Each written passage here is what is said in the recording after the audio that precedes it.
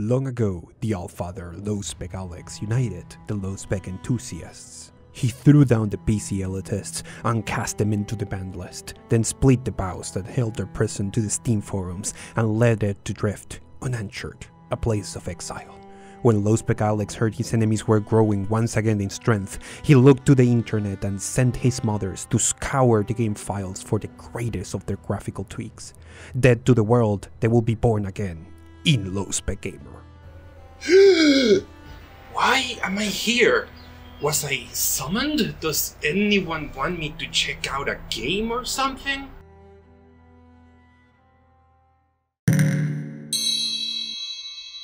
Oh no!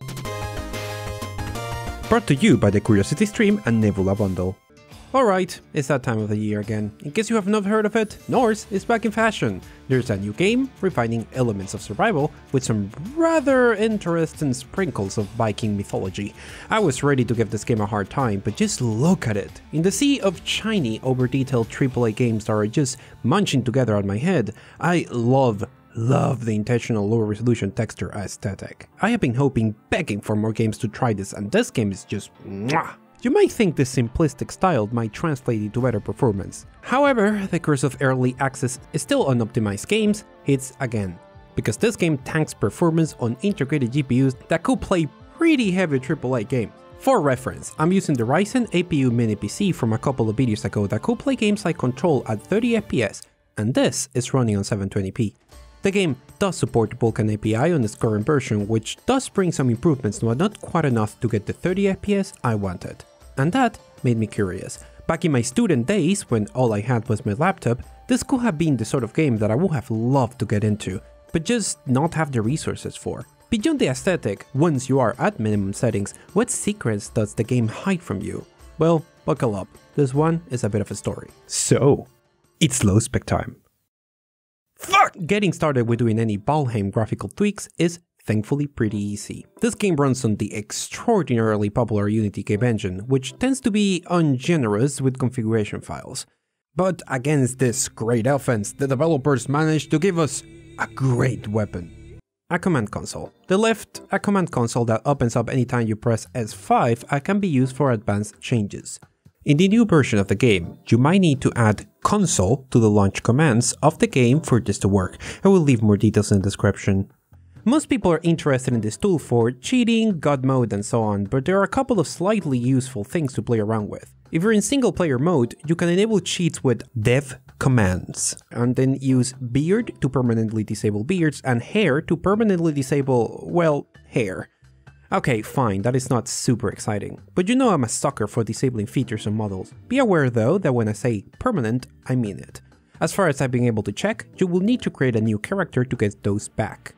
Perhaps more interesting, and also more destructive, is a command that does not require you to be in cheating mode, but does require either being in a single player or the admin of the server. LOD bias. What this actually controls is the draw distance of the whole server, and by setting it up to zero you will get, well, you will get zero draw distance for all elements, which is super useful and super usable. Okay, real talk, the lowest usable value is 1, which initially does not seem that low until you start trying deer hunting and realize that you constantly lose track of them because they can easily outrun the draw distance. Ah! What was missing in the dev console were the kind of commands that will make or break this game for some people. And after a lot of fruitless research, I decided to ask for some help. Turns out this early access game is perfectly balanced and not at all difficult to mod, as some friends will demonstrate to me. Try try running. See how fast you can go. Holy crap, what the f- Welcome to perfectly balanced Valheim, my friend. Right, okay, come over here. Let me show you something. You see this tree? This is a pretty um, sturdy tree. Yes? This is a fancy tree, but my bare hands are a lot more powerful than just a flimsy piece of wood. You, you literally crashed, almost crashed my game. That was impressive. Your low spec mods won't be able to manage uh, to survive the mighty power of my fists. Do the countdown. Five, four, three, two, one. Lift off! Oh my god. Okay, I'm coming back down. I'm coming back down. I'm coming quite quick. I'm actually going to land in the ocean off of the coast here. there we go. I saw you splash in the distance. Oh my god. Uh, I love this game. It's fantastic. However, while that definitely broke the game, it did not quite do it in the performance increasing way I needed. So I kept talking to people. And holy Valkyrie descended from the heavens to. Okay, fine, I will stop with the Norse analogies. The mod I will be using was made by Codename Gamma, a specialized modder that usually makes videos on Sonic games but was kind enough to give me a hand for this one. There are two very useful commands added by this mod. One is control over shadow cascades, which is a technique used to increase the quality of shadows from directional lights close to the camera. Disabling it can make close shadows appear more pixelated. But by far the most useful one is shadow distance, which controls the rendering distance of shadows and when set to zero disables shadows entirely. This is a game changer, and I imagine it will be very useful for a lot of people with a lot of different specs. Now, all things considered, can you play a game like this? As those of you who got in time to watch my Twitch stream found out, it does kinda work. If you are wondering when the heck did I start streaming again, maybe you should follow me on social media.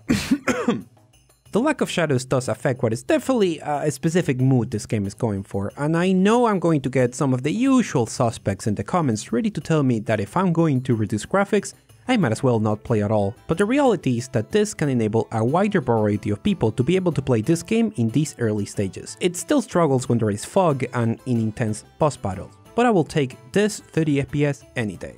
Now, one thing that worries me about this mod is that early access games are continuously updating and breaking mods, which is why Codename Gamma made a post on her Patreon that is free for anyone to view, explaining how it works, with the idea that it could be easily modified for a new version of the game when needed and kept alive.